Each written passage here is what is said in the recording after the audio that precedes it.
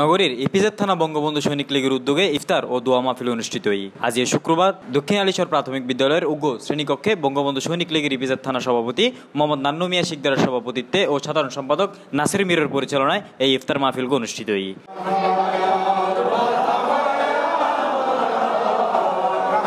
অ্যান্ডে প্রধান অতিথি হিসেবে উপস্থিত আছিল চট্টগ্রাম মহানগর বঙ্গবন্ধু সৈনিক লীগের সভাপতি অ্যাডভোকেট মাহবুব আলম। বিশেষ অতিথি হিসেবে উপস্থিত আছিল আওয়ামী লীগ নেতা শেখ মোহাম্মদ ইসাক। ইপিজেড থানা আওয়ামী লীগ নেতা ইনু ও মুক্তিযোদ্ধা আবু তাহের। এছাড়া আরও উপস্থিত আছিল ইপিজেড থানা বঙ্গবন্ধু সৈনিক লীগের সহসভাপতি মোহাম্মদ নান্নু খা ও হালিম সহ আরও বোধকে। আমরা সবাই এই